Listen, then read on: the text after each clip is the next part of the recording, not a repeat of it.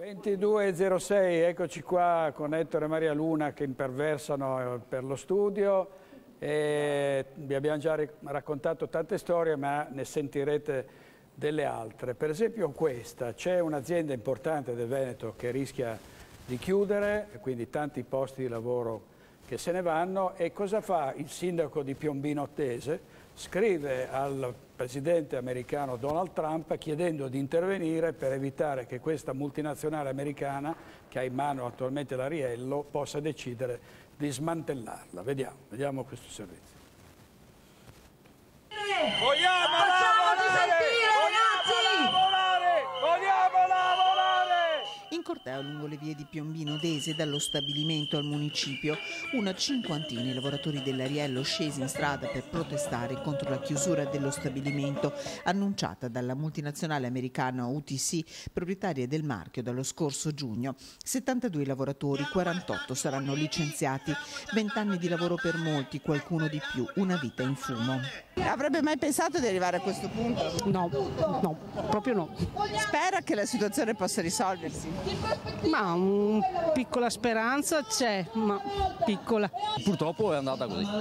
Lei ha qualche speranza? Di cosa? Che si possa risolvere qualcosa? No. No, perché hanno già, hanno già deciso. Sulla bandiera! Loro fianco i sindacati, nessun piano industriale, spiegano, nonostante le richieste, sale la preoccupazione per il futuro di tutto il gruppo. Non abbiamo la possibilità di capire UTC cosa realmente vuole fare per tutti i lavoratori dell'Ariello. Sono lavoratori che hanno fatto questi marchi, sono lavoratori che se perdono il posto di lavoro poi hanno anche un'età abbastanza avanzata. Un paese incredulo Piombino. Mai pensato perché non, non ho mai visto, ecco. E sono qua apposta perché Gonca me fiore qua. Che ha fatto i soldi con, con, con la gente del Piombino Dese. Su fiore a semenuora. A me mi piange il cuore vederla così. A fianco dei lavoratori si stanno mobilitando le istituzioni, dalla regione al comune dove il corteo è arrivato a mezzogiorno. Ad accoglierli c'era il sindaco che in queste ore ha scritto al presidente americano Donald Trump. Lui ha vinto la campagna elettorale su questo tema, dicendo alle aziende americane che andavano a produrre fuori, facendo lavorare non gli americani ma altre persone, altri cittadini, che dovevano rientrare, perché il, la cosa principale è il lavoro, mantenere il lavoro in casa, far lavorare i propri cittadini. Servizio di Chiara, Chiara Gaiani, vedremo se Trump eh, o chi per lui risponderà dalla, dalla Casa Bianca. Maurizio, Maurizio, Di Sarò del Comitato Equità Fiscale, imprenditore, buonasera Di Sarò, bentornato. Che, che succede sull'equità fiscale? L'equità fiscale quanto Un sindaco, sindaco Bedelago. Scusi, di solo la devo interrompere perché c'è un problema col microfono, eh, abbia pazienza. Succede, succede spesso. No, no, è proprio è un problema con, credo, con le batterie. Un attimo soltanto. Eh. Allora, eh, Roberto Xausa, Rotary, buonasera Xausa. Buonasera. Allora, che, che ruolo eh, può avere il Rotary in un contesto come questo? No? Qui parliamo di pensionati alla fame, di capi famiglia che hanno perso il lavoro, di eh, gente sfrattata, insomma, no? Allora certamente, guardi, lei mi dà l'occasione per dire che il Rotary in questi frangenti, con questi temi, si sente assolutamente a suo agio. Il sistema Rotary nel nord-est Italia si è suddiviso, si occupa attraverso 87 club, 4.500 soci delle attività a sostegno a sostegno proprio di questo tipo di iniziative. E devo dirle che non è molto, molto, noto quello che fa Rotary, anzi forse delle volte è anche miss, miss sconosciuto e si interpreta male anche quello che fa perché non è noto. Eh, di, direi che il nostro core business, la nostra attività principale è rivolta soprattutto ai giovani, è rivolta soprattutto alla ricerca del lavoro, è rivolta alla disabilità. Eh, il sistema Rotary del nord-est Italia organizza quattro handicamp che negli ultimi anni hanno avuto oltre 2000 ospiti. Ad Albarella, al lago di Garda, a Ancarano e anche uno in montagna, nel Bellunese. Ecco, vede, tutto questo eh, vuol dire proprio essere vi vicini e cercare di essere di aiuto a chi ne ha veramente la necessità. Eh, io ho notato anche che molto spesso c'è eh, una, una, certa riservatezza, cioè Rotary non tende a, dire, sì. a, a mettersi in mostra o a illustrare sì, è vero iniziative, no? Quindi, vuol dire, fa parte un po'... È Ma è un po' che... è uno stile anche questo, però guardi, io le devo dire che eh, purtroppo non è noto e vorrei proprio esprimere in questa sede anche questa apertura, questa possibilità di utilizzare il canale Rotary per appoggiarsi ad un'iniziativa, una strada da fare assieme. Non le sto qua a dire quante, quante iniziative. Lei pensi solo che il Rotary è noto nel mondo per la campagna mondiale antipolio, 2 miliardi e 500 milioni di bambini eh, vaccinati attraverso il sistema Rotary, cioè parliamo di grandissimi numeri, ma dai grandi numeri del mondo parliamo anche dei piccoli numeri del Veneto e delle nostre realtà. E su queste realtà devo dire che tanti club si occupano proprio di questo tipo di aiuto.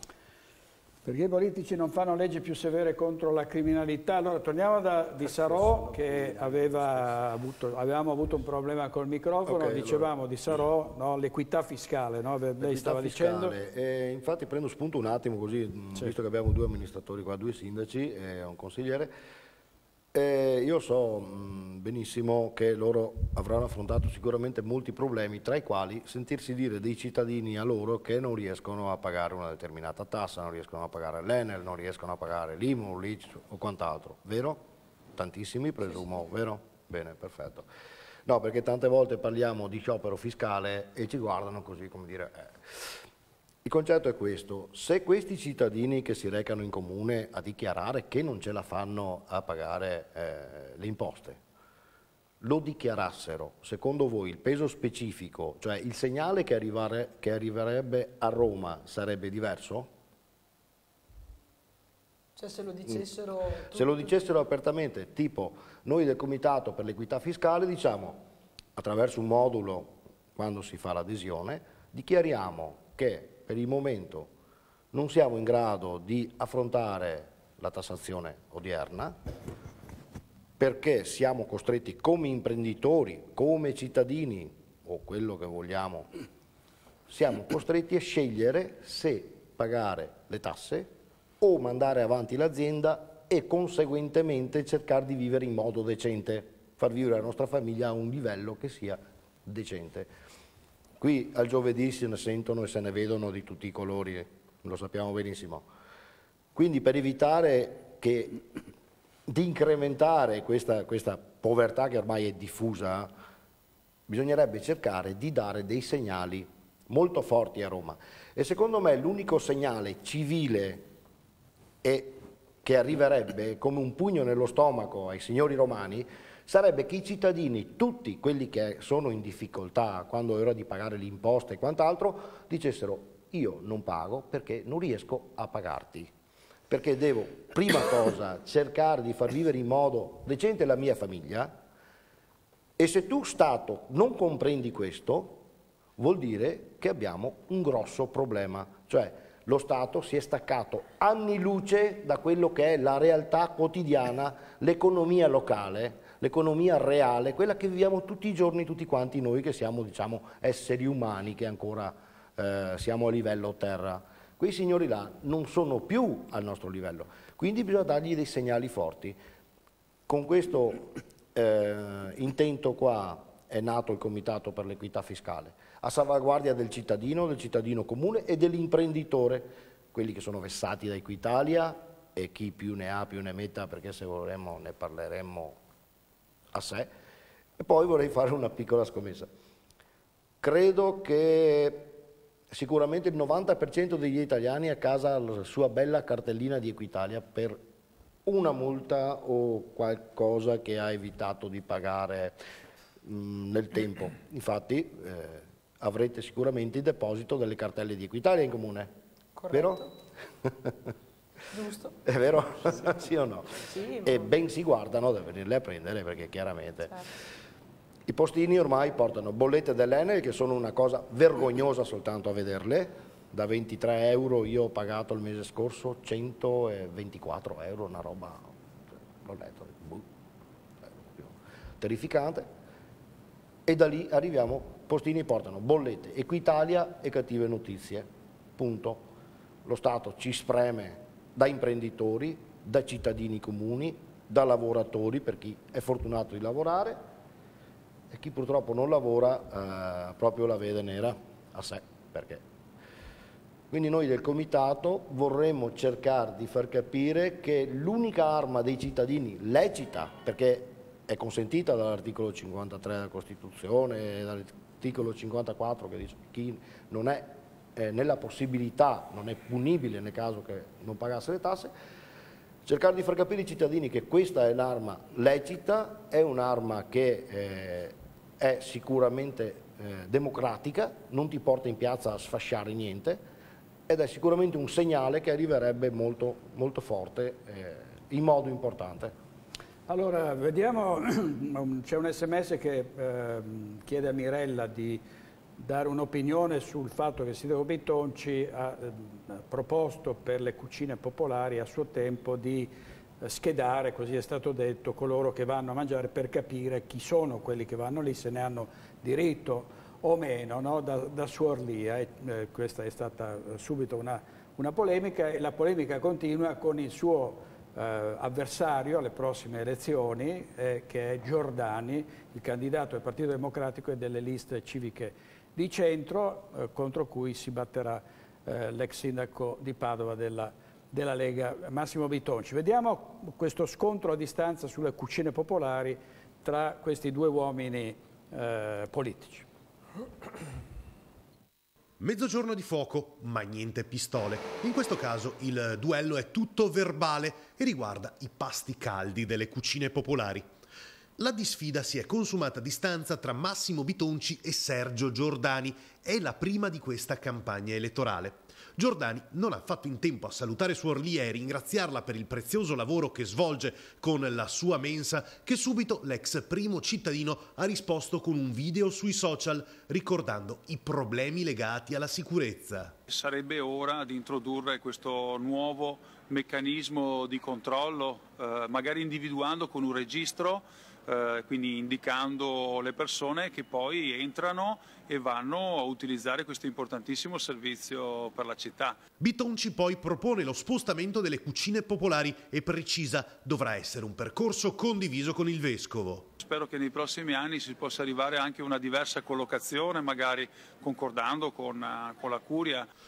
Bisogna capire poi cosa ne pensa il vescovo Cipolla che in passato non ha esitato a schierarsi contro l'ex sindaco.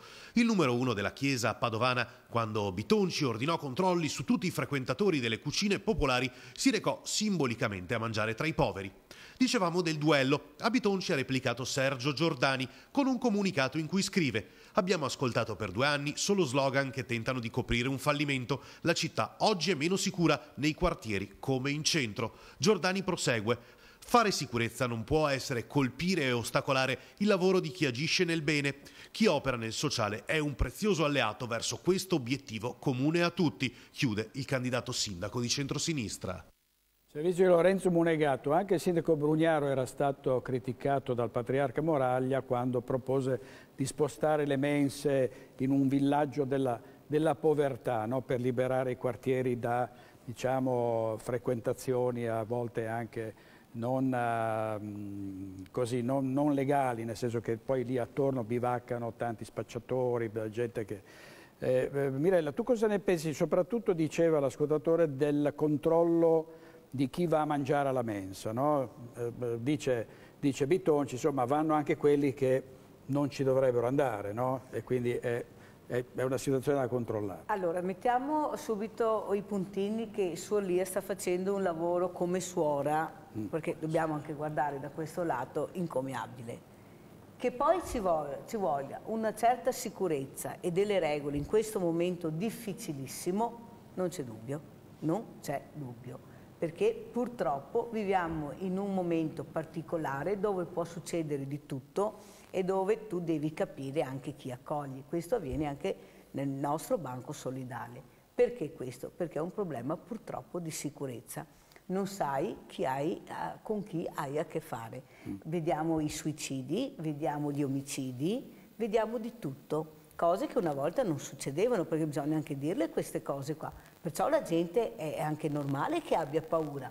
Perciò se ci sono anche delle regole, da mettere delle regole e se questo serve a fare più chiarezza e dare più sicurezza ai cittadini, questo deve avvenire, perché no? Perché no?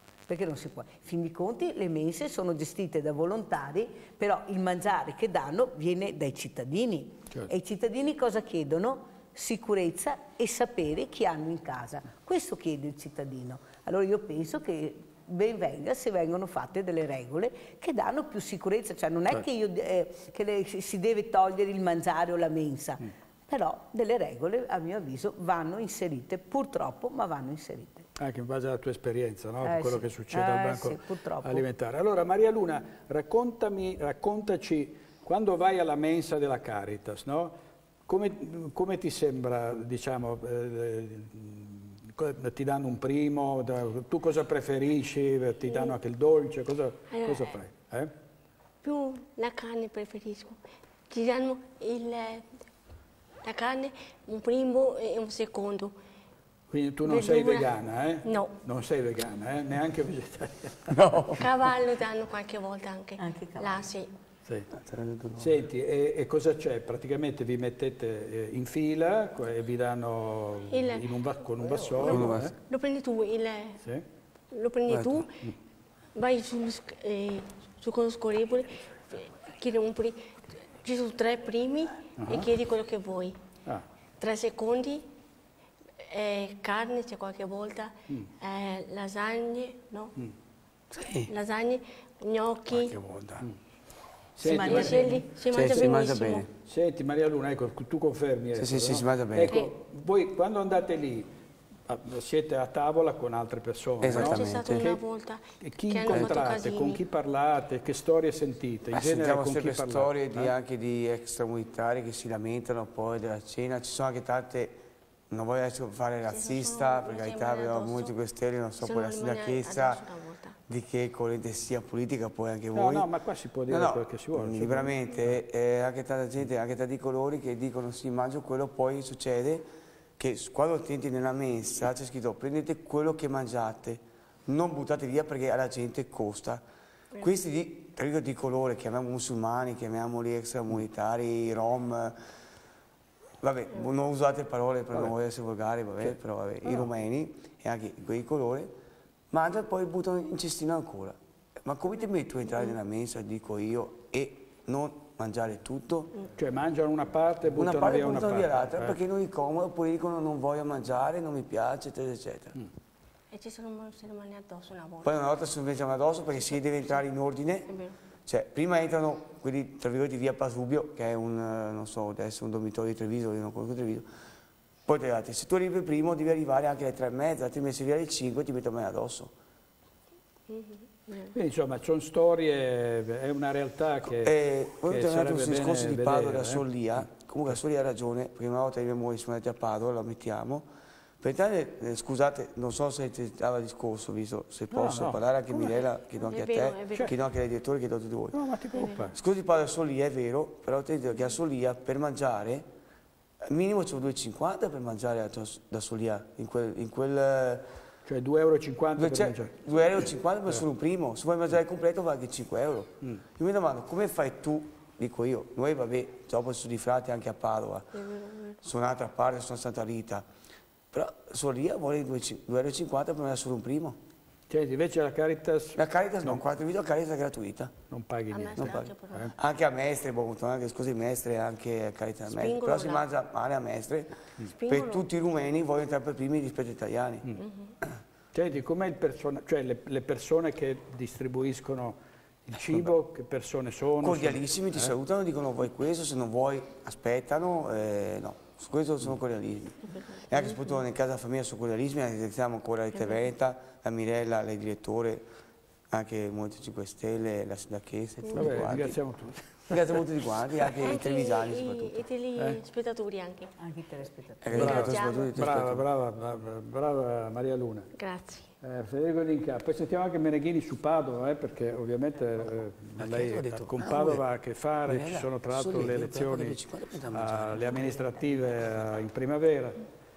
E queste, queste realtà sarebbe una bella lezione per, per tutti noi, no? andare negli ospizi, andare Sai, nelle pensavo dei poveri, vedere cosa negli ospedali, no? invece di andare magari a volte in gita scolastica a Parigi per la quarta volta, eh, si, si andasse a vedere quello che succede in questi luoghi di sofferenza e di, e di disagio, ma anche eh, affrontati con grande dignità da persone che magari hanno scelto di fare quella vita, come il clochard che è morto eh, nella stazione di Treviso. Lui aveva scelto di vivere così, no? di non avere eh, un tetto sopra la testa, aveva avuto problemi, ma tanti di loro no? sono uomini, che, uomini e donne che hanno il coraggio anche di eh, affrontare un'esistenza molto grama e molto difficile.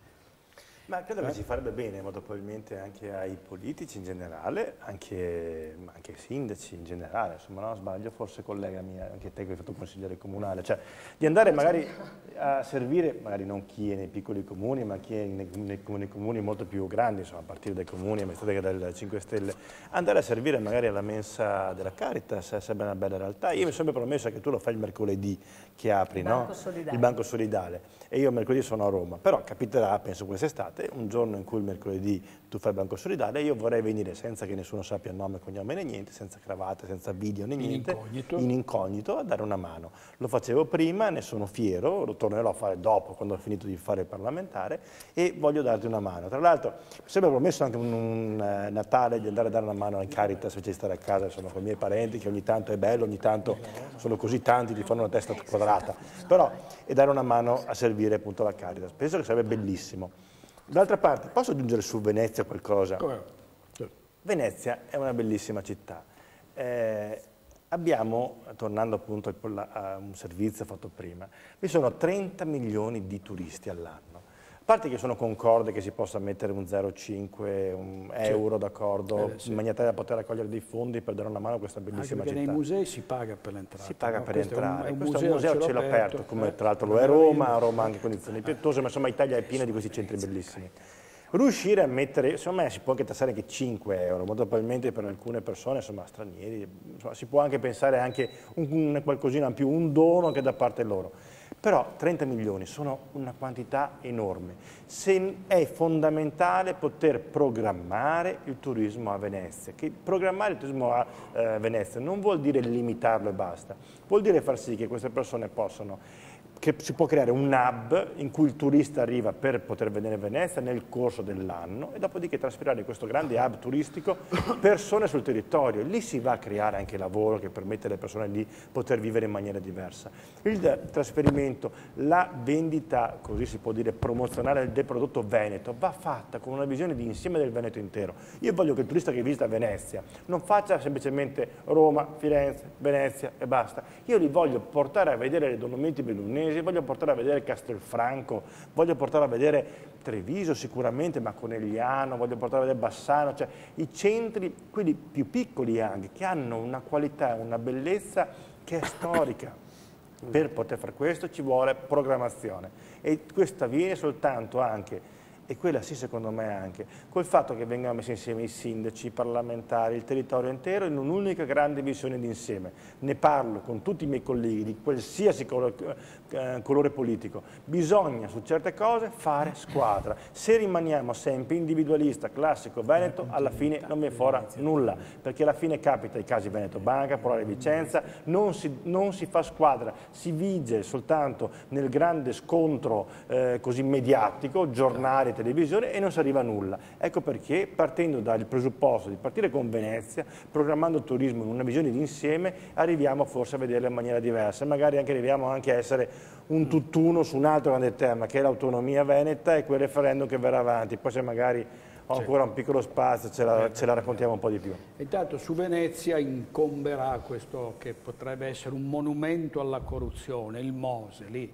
che qualcuno vorrebbe, dopo aver speso 5 miliardi, abbandonare lì come simbolo evidentemente, o farne un albergo, facciamone un altro albergo sulla, sulla laguna magari, speriamo che funzioni invece, visto che hanno concluso, siamo arrivati a oltre tre quarti dei lavori, lo, lo, lo finiscano e vediamo se vengono su ste paratoio, seppure vengono su e poi collassano, come qualcuno dice. Proviamoci almeno, no?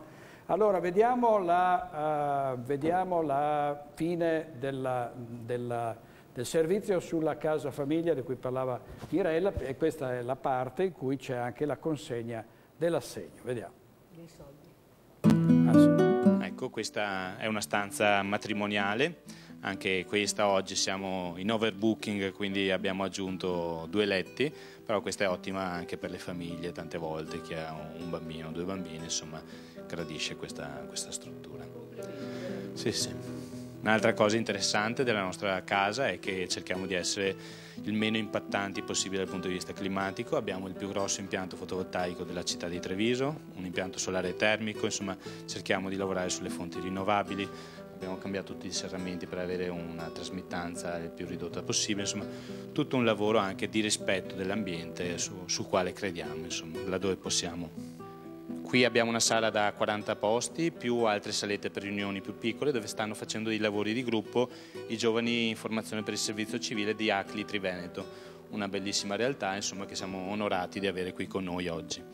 Proseguendo da questa parte abbiamo questa sala polivalente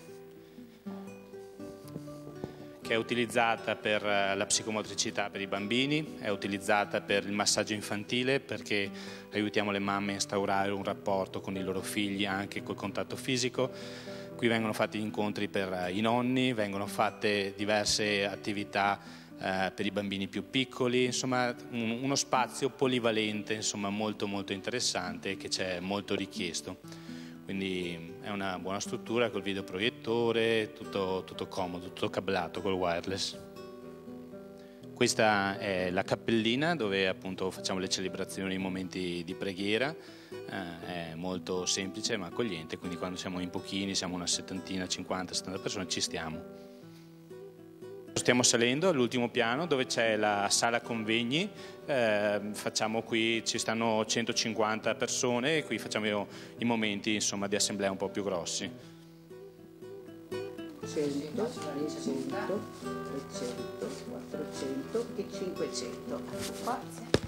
Signora, a chi in testo l'ha ricevuta? Associazione Veneti Schiacciati dalla Crisi, grazie. Allora cari telespettatori, come vedete siete la nostra grande famiglia perché con i vostri soldi riesco a pagare questo alloggio a questi due sfortunati ragazzi, chiamiamoli così, sono due ragazzini.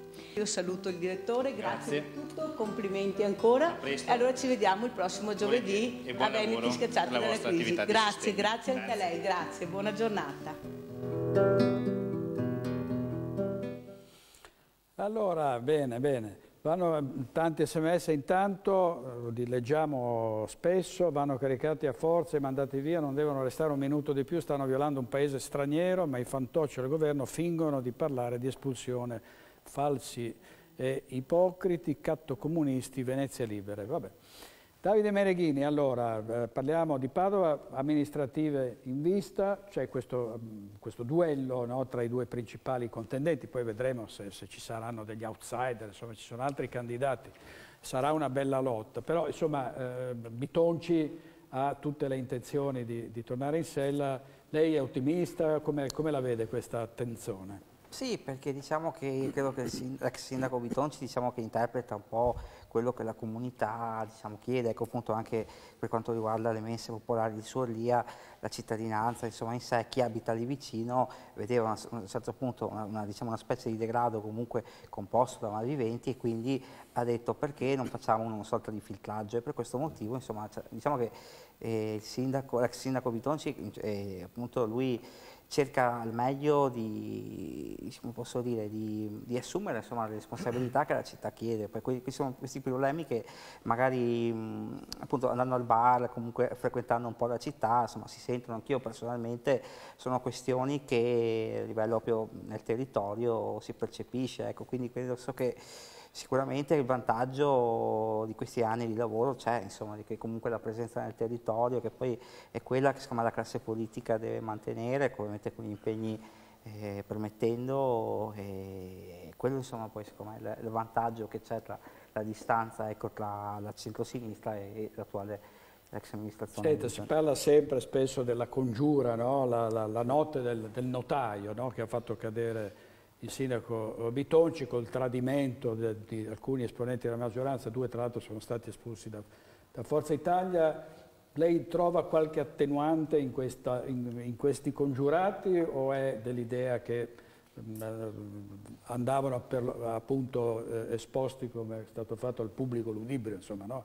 Questa è stata la reazione ovviamente del sindaco è stata durissima e si è sentito tradito dai suoi stessi alleati. No? Sì, allora io dico sempre, cioè ognuno di noi ha un cervello, quindi insomma se c'è qualcosa che non va in un'amministrazione è giusto magari farlo presente, è giusto insomma fare delle battaglie tra virgolette interne, insomma a scopo di bene per la comunità, però andare a tradire un sindaco, andare comunque a tradire un'amministrazione e comunque bloccare la città sicuramente è sbagliato, cioè senso, poi soprattutto c'è mancato il rispetto verso i cittadini, secondo me quella è stata la, la nota più grave che, che, è stata registrata.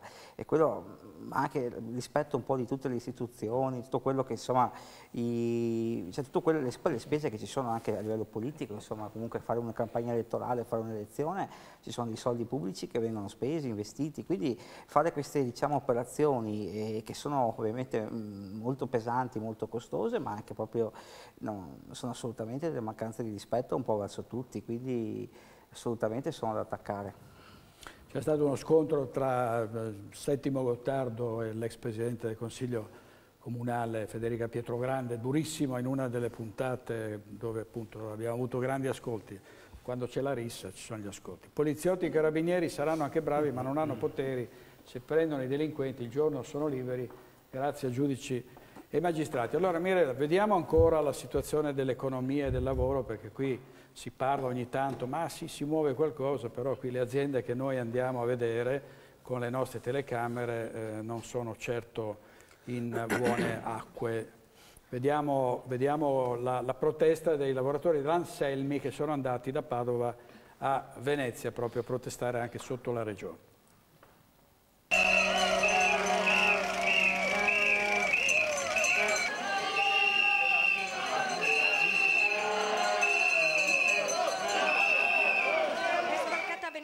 Oggi la protesta dei lavoratori della fonderia Anselmi, l'azienda di Campo San Piero dichiarata fallita dal Tribunale di Padova il 24 gennaio scorso. Arrivano in laguna con una buona notizia, una nuova proposta di acquisto. Questa mattina oltre alla proposta della Zen che era arrivata nelle settimane scorse è arrivata anche la proposta della Riotti di Brescia questo ci fa dire insomma, che la fonderia interessa e assolutamente ha le condizioni per ripartire. Adesso bisogna fare in fretta, bisogna che la burocrazia, il tribunale, le varie procedure che sono attorno alla vicenda dell'Anselmi facciano tutto il necessario per cui i forni possano riaprire il prima possibile e soprattutto ci sono i soldi per pagare gli stipendi dei lavoratori perché è da dicembre che non, viene, non percepiscono soldi. Lavoratori che continuano a mantenere il presidio in azienda e che credono che la fonderia possa riaprire presto. Il 19 dicembre la fabbrica è ferma e noi siamo là giorno e notte a controllare che non sparisca quello che c'è dentro. La picchettiamo praticamente. Ecco. Perché non muoia? Perché non muoia, teniamo, teniamo gli impianti in sicurezza, in funzione impianti di depurazione sono a posto, eh, non siamo pagati e siamo là che vigiliamo con la speranza di ripartire.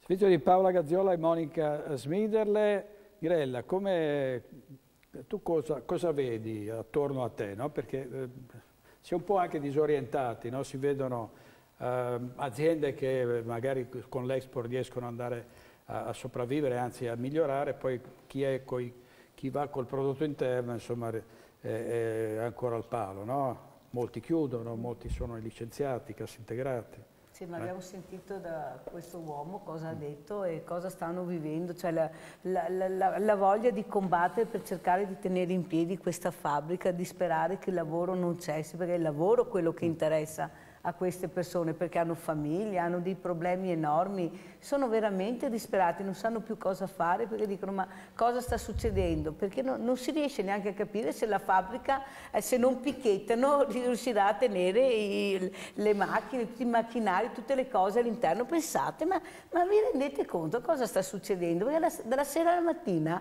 può succedere di tutto e di più e questi sono veramente terrorizzati. Abbiamo visto i vigili del fuoco cosa hanno detto, stipendi da fame, gente che rischia la vita, sono preparatissimi, il limite di età che non c'è, 50 anni, 60 anni, cioè, ma, ma io non so, la politica va tutta da un'altra parte, cioè loro guardano altre cose. Quello che è veramente il problema, come diceva giustamente il sindaco, cioè il problema adesso è il cittadino, è il lavoro, è, dare la sicurezza a questi ragazzi che vanno a scuola, che quando rientrano il terrore di non trovare più i genitori. Perché questo succede, non avete sentito tutto dalle case famiglia, ma hanno padri veramente che si sono divisi dalle loro mogli proprio per il problema di non aver più lavoro, di non aver più soldi. Sono distrutte le famiglie, stanno distruggendo le famiglie, perché oltre a perdere il lavoro, perdono la famiglia e per certi padri è una disperazione enorme e per certe madri, ma soprattutto per quei figli. Cioè, ma pensiamo a questi bambini, a questi ragazzi e poi diciamo se si suicidano, ma che mondo vedono davanti? Cioè, stiamo parlando di menti fragilissime. Cosa facciamo? In che maniera li aiutiamo? Andiamo dai sindaci, giustamente ha detto, non possiamo aiutarli, non abbiamo risorse, però poi le grandi opere, si parla di stadi, si parla di golf, ah, si sente 90, 97 milioni alla, eh, cosa si, di cosa eh? si sente parlare dal governo? Di banche, di banche e il cittadino e i problemi che ha il cittadino delle priorità, le periferie. Eh, tutti quanti prima della campagna elettorale, ah, le periferie. Ma le periferie non le vedono neanche. Anche stamattina cittadini che dicono io non ho neanche un lampione dove abito e si pago le tasse ed è anni che chiedo un lampione, che chiedo degli allacciamenti. Cioè non fanno niente, perché, cioè, io non so, ma non gliene frega niente di noi. Loro devono arrivare al loro obiettivo, che è quello di avere una poltrona importante, che gli dà la sicurezza per tutta la loro esistenza, a loro e a tutti i loro familiari. Non dico tutti, però diciamo un 99,9,9,9, perciò non ho detto tutti, ho detto 99,9,9,9. Allora cosa succede? Il, cittadino è anche stanco perché anche stamattina si parlava. Allora vai al referendum, allora ti obbligano, perché diventa un obbligo a dire sì o no. Su cosa? Su che problemi abbiamo votato? Abbiamo votato forse problemi grandi, importanti, che riguardano il cittadino, non mi sembra, poi co con delle frasi delle, e delle parole che secondo me tanti anziani non hanno neanche capito cosa dicevano. Quel problema del lavoro, do, do, abbiamo, abbiamo, votato un referendum per il lavoro? No. Abbiamo votato un referendum per dare la casa agli italiani che hanno perso il lavoro? No. Abbiamo milioni, abbiamo milioni di appartamenti sfitti, vuoti, perché non li consegnano? Perché non vengono consegnati? Sono là, vuoti, in degrado e non vengono consegnati. Abbiamo la gente che dorme sui battelli, che dorme sulle strade, questi qua si abbracciavano sotto i ponti, però non diamo niente. Strutture non ce ne sono, perché io ho bisogno anche di strutture, ho bisogno di asili, ho bisogno di case, non ce ne sono, ma ce ne sono tantissime di sfide, ma chi se ne frega? Ma dammele! Sono andata la scorsa settimana da questa famiglia che la casa sta cadendo, ma chi va a vedere questa famiglia? Ma, ma allora la salute del cittadino che il sindaco è responsabile, cioè si rendono conto di cosa dicono, di cosa fanno ma non contiamo niente, il problema è che non contiamo niente, è là il grosso problema. I sindaci vanno a Roma e vengono a casa senza niente, addirittura tra di loro poi non vanno neanche tanto d'accordo, così pure gli onorevoli senatori, e noi stiamo qua a guardare, ma vai a votare, ma cosa voto? Ma chi voto? Ma chi voto che poi fate quello che volete? E infatti Di Sarò eh, parlava proprio di una sollevazione, no, in qualche modo, Ma, dei, diciamo, dei contribuenti. È una sollevazione, diciamo che mm. creare un'unità di intenti. I cittadini sono tutti scontenti, non c'è niente da fare. Qui abbiamo un parlamentare, presumo che lo sappia benissimo com'è la situazione. I cittadini sono tutti scontenti. Per tutta una serie di svariati motivi, da quello che ha parlato la Mirella finora, a quello che abbiamo sentito l'altro giorno che ha menzionato poco fa la Mirella, dove ci dicono 97 milioni per il torneo di golf Challenger, so io cos'è. Ma è così che si fa ripartire un paese? No, perché se non lo sanno, allora parlino con la gente che sanno fare le cose, perché io sono un imprenditore, non sono politico, ma se vogliono faccio pure anche politica, non sono mica proprio l'ultimo arrivato. Allora, mettiamo le cose in chiaro. La politica deve fare una profonda analisi della situazione italiana.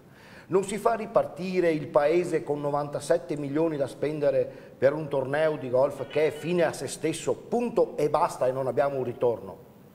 Quei 97 milioni di euro là si possono investire facendo finanziamenti sull'onore a quante aziende? 200.000 aziende per 50.000 euro, ok? Si possono fare dei versamenti una tantum sulle pensioni, le minime, i 100-200 euro al mese in più ogni tanto che la gente tiri il fiato, quelli sono soldi che vanno immediatamente nell'economia reale e cominciano a girare. Se poi la politica non è capace di comprendere queste cose qua, devono cambiare mestiere, punto, basta, non c'è altro da fare. Quindi noi del Comitato per l'Equità Fiscale proponiamo un'unità di intenti di tutti i cittadini, dal pensionato al dipendente, al disoccupato che già di problemi per pagare, ma lasciamo perdere, al piccolo imprenditore e alla media industria. Lasciamo perdere la grande industria, Confindustria e cose varie, specialmente se guardiamo lo specchio della situazione e mi meraviglio che la politica non abbia fatto una riflessione, l'hanno schivata tutti. Abbiamo visto che i maggiori creditori di MPS sono la creme dell'imprenditoria italiana milioni e milioni e milioni che MPS dovrebbe riavere, che molto probabilmente non riavrà mai. Cosa fa lo Stato? Ci butta là 20 milioni da andare a coprire. 20 miliardi? Ma il, sì, 20 miliardi, scusa. Ma il problema qual è? Se noi mettiamo in evidenza il fatto che la crema dell'imprenditoria italiana, i grandi imprenditori, le grandi aziende, sono quelli che solo con MPS hanno un tot di debiti del genere e quelli non lavorano certamente con una banca solo, se tanto mi dà tanto, quant'è il debito di queste grosse aziende che sono così tanto portate, rinomate, sovvenzionate e quant'altro? Una cosa mostruosa. Allora, i piccoli come sono messi? Tutti quanti con la corda al collo siamo?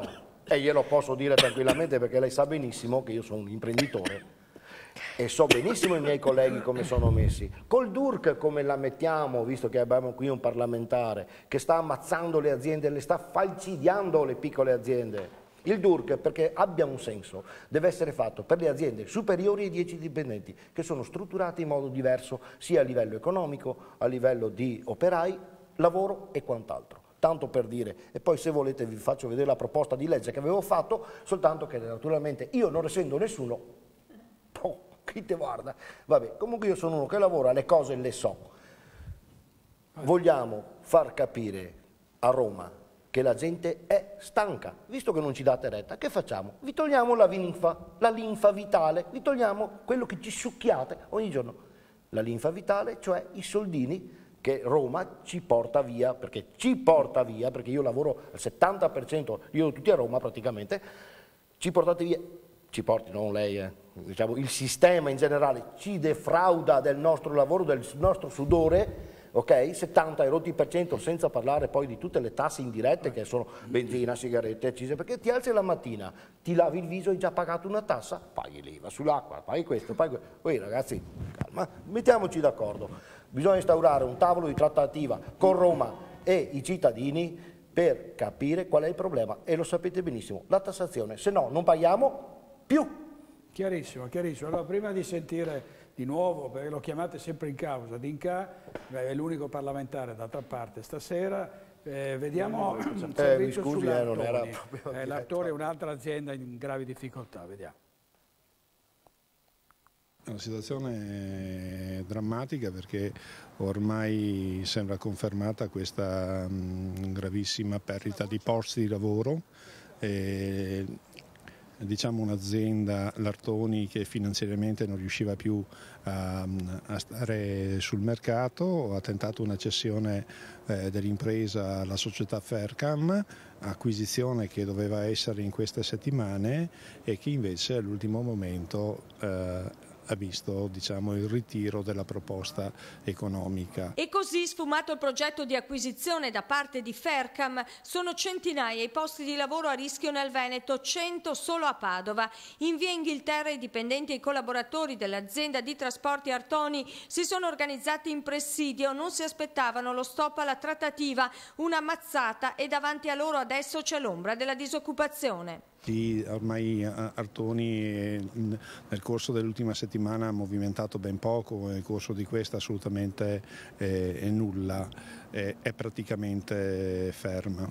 I sindacati sperano ancora che Fercam riapra il tavolo della contrattazione, altrimenti lo scenario che si aprirebbe sarebbe davvero molto pesante. Noi speriamo un accordo con Fercam perché è, è, è l'unico a questo punto che può dare un minimo di speranza a buona parte di questi lavoratori. Servizio di Monica eh, Smiderle, allora Dinca eh, cosa ne pensa di, del, diciamo, dello sfogo di, di, di Sarò? Ma che è comprensibile, cioè io ti capisco Guardi quando... io non era uno sfogo, era proprio no, una no, no, no, è una proposta, buona, è una proposta, eh, ho capito, ho capito, ci mancherebbe non direttamente altro. a lei. No, ma ho capito, cioè capiamoci. io guarda, mi sento tirato in causa perché sono qui l'unico parlamentare per cui alla fine di quello mi tocca parlarmi, anche se non sono al governo né niente, eh, va bene, ma sta così va benissimo. Ed è giusto che tu ti sfoghi con me, perché io devo comunque prendermi la tua tristezza, la tua difficoltà, portarmela a casa, va bene, ragionarci sopra per come trovare una soluzione, andare poi a Roma e tradurla con altre quasi mille persone in proposte di legge che possano dare una mano. Le tasse in teoria sono sì eh, un peso, eh, se fosse tu le vedessi poi trasformarsi in servizi locali, in copertura alle persone, cioè se, se- se- se si trasformano diciamo, nella scomparsa delle persone come Mirella che, che- che, eh, diciamo, prendono il posto eh, diciamo, di chi dovrebbe dare servizio, saresti felice che di pagarle, dico io. No? Invece in questo momento in tutto il paese, da nord a sud, ci si accorge che si pagano moltissime tasse e che i servizi non ci sono. C'è un problema anche che mancano insomma, le risorse ai cittadini per poter effettuare quei consumi che poi danno dignità anche al consumatore, eh, consumi, positivi parlo io, insomma, non consumare per consumare e basta, in maniera tale che vi sia quel meccanismo di giro economico per cui alla fine tutti quanti ne risentano a pioggia. Dall'altra parte ti assicuro che c'è un cambiamento tecnologico mondiale in questo momento talmente grande per cui si iniziano ad avere quantità di prodotti a bassissimi prezzi e da cui deriva, deriva anche una deflazione economica e provoca una sorta di veramente grande restrizione del portafoglio, degli ordini, delle aziende e lo vedi un po' ovunque. È una situazione che non so dirti in quale maniera si possa riequilibrare. eh. Noi abbiamo fatto un'analisi molto profonda sul lavoro, abbiamo fatto uno studio, spendendo anche dei soldi come gruppo eh, parlamentare del 5 Stelle, per definire come sarà il lavoro nel 2025.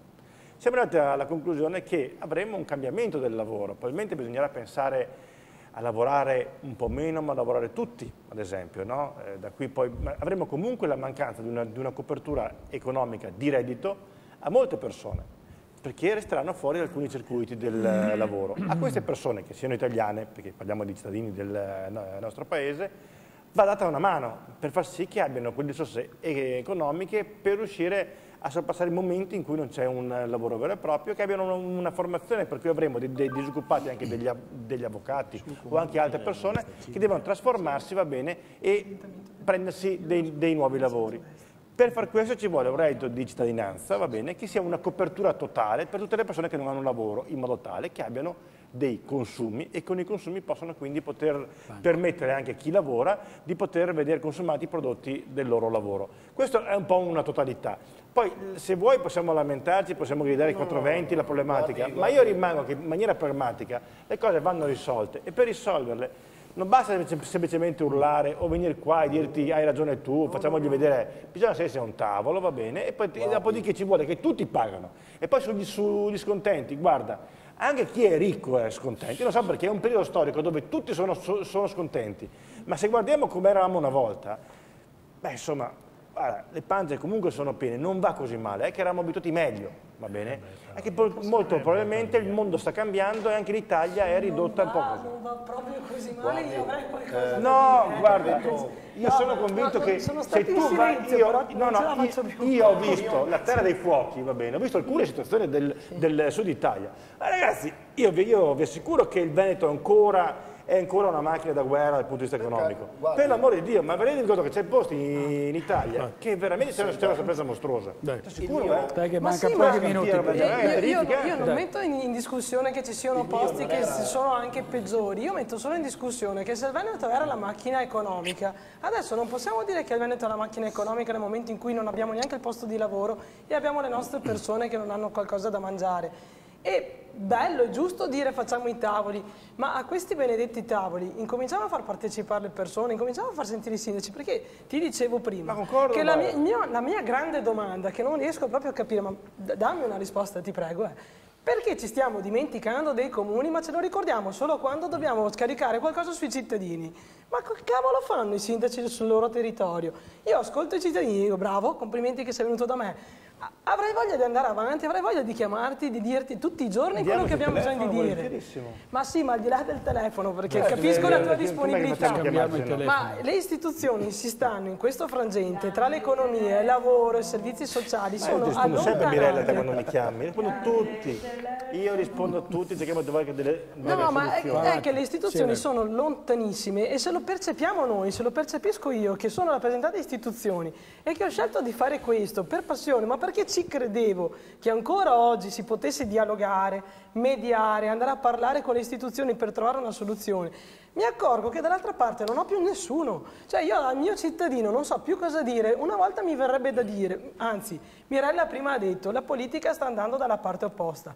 Ma quale? Ma mi dica almeno una parte. Se io sapessi almeno qual è la direzione, io farei la mia parte e i cittadini farebbero la loro. Non, proprio non la capiamo. Non è chiara, non c'è proprio neanche un senso. Non c'è una compatibilità. No. Allora, Eh, Sindaco, Ma posso dobbiamo- rispondere a questo no, messaggio scusi. per cortesia? No, se io scusi, perdo le scusi, elezioni, dica, eh, se io perdo le elezioni si va, si va a Eh. lavorare, eh? perché io ce l'ho un lavoro dietro di me. Ragazzi. Qual è il, il È un messaggio là Lo schifo è anche che chi per le elezioni troverà senza Se dubbio un perdo le elezioni insomma. torno al mio lavoro, io c'è un lavoro ce l'ho e basta. Il il no, un attimo soltanto, scusate, eh, siamo al limite e dobbiamo ancora dare eh, il banco solidale della Mirelluccia, vediamo.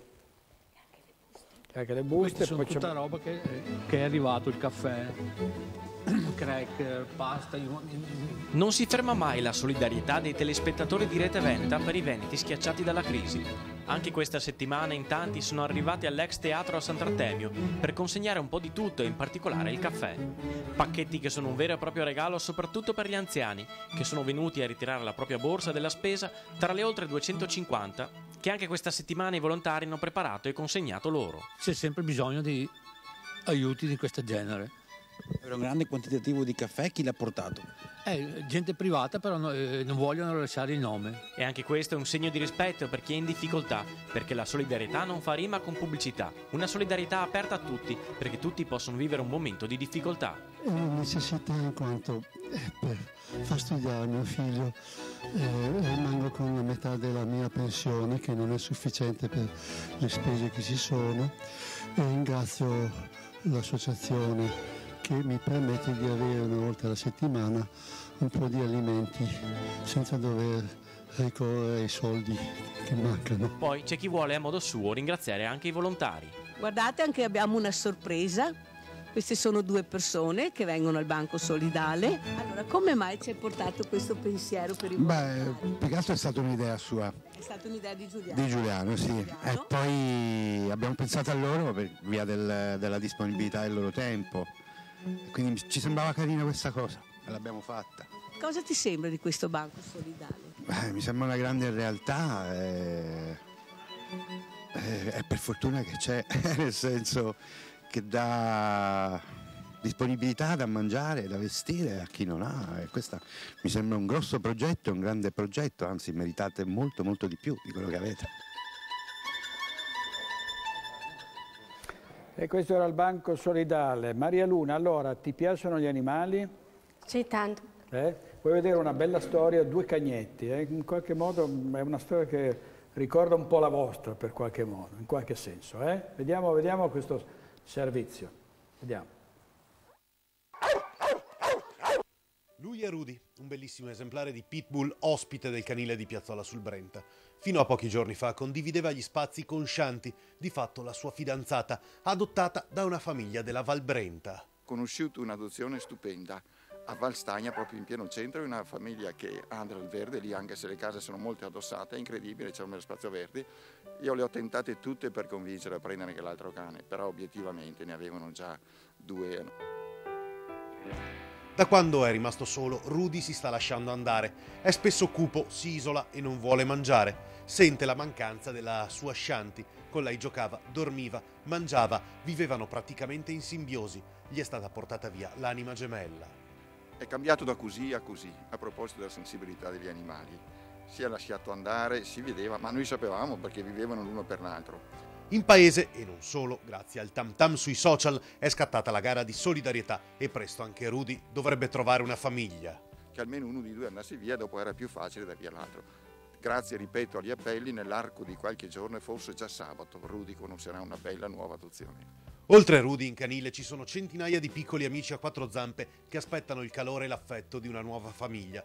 Tra le altre cose, la Lega Nazionale per la Difesa del Cane ha lanciato la campagna Adotta un nonno. Per chi prende un cane con più di 10 anni d'età, un'azienda privata garantisce la fornitura di cibo e crocchette. 160 animali che aspetterebbero un padrone. 160 che una volta hanno cuccioli, quando noi diciamo non fate nascere cani, questi erano cuccioli stupendi, come mai sono finiti in canile? Questi 160 animali che sembrano chiederci di uscire, abbiamo anche l'area di sgambamento, cerchiamo di venire loro incontro, ma mancano delle, cose, delle due cose più importanti, la libertà e l'affetto di un padrone. Servizio di Lorenzo Munegato, eh? quindi anche voi siete in simbiosi, voi non vi separerete mai, vero? Mai. Per cui non rischiate, Ettore non rischia di, fare, diciamo, di trovarsi nelle condizioni del nostro, del nostro amico no. Pitbull no. che andremo a, a, trovare con gli altri cagnetti. Eh, allora Mirella, eh, hai delle buste? Allora anche eh? questa settimana ci sono delle buste, allora questa viene dal GIN Antifurti che ha portato al Banco Solidale 200 euro. Ringrazio questa azienda perché oltre ad averci fatto tutto l'impianto di sicurezza agli orti, come vedete ci porta sempre, la scorsa settimana ha portato degli aranci, questa settimana ha portato anche 200 euro. Poi ci sono 50 euro, questi sono arrivati a Rete Veneta dalla signora Rubinetta. Signora Rubinetta? Nome strano. Il nome è carino, eh? Rubinetta. Strano. E poi questi invece sono arrivati all'Expo di Bassano. Questa è una tredicesima. Ma stai scherzando? Sì, che questo signore con sua moglie sono venuti a, a portarmi per signora Mirella Tuzzato e a chi ne ha bisogno, Giuseppe e Giulia, che io ringrazio tantissimo, anzi il direttore volevano che io la salutassi e Giuseppe e Giulia hanno portato la tredicesima di Giuseppe per aiutare le persone in difficoltà. Lo racconto perché sono 100, Grazie. 200, 300, 400, 600, 800, 1000 euro. Grazie. Grazie, grazie, grazie. Eh? La, tre, la, tredicesima per Grazie. Grazie. i veneti schiacciati dalla crisi. Grazie. Grazie. Eh, veramente sono delle persone che forse hanno capito più di altri quanto bisogno c'è di aiutare perché purtroppo ci vogliono soldi, non c'è niente da fare.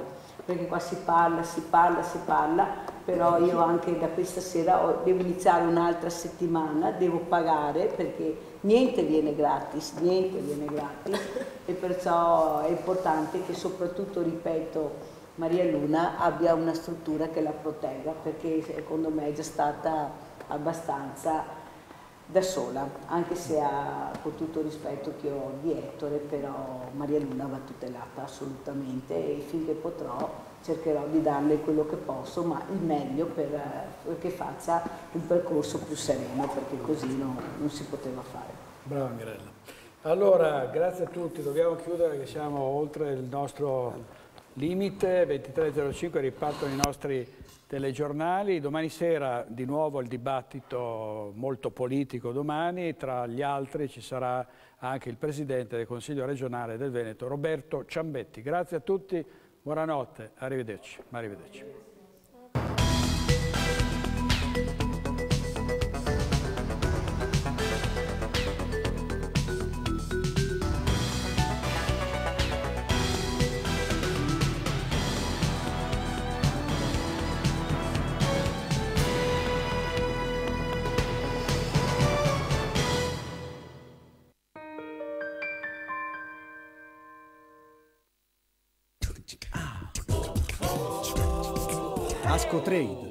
Luce e gas. Energia dalle nostre mani.